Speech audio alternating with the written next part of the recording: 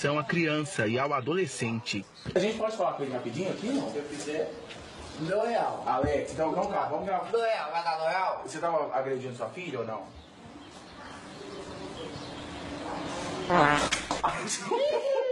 Tá com medo pra que que vem, amor?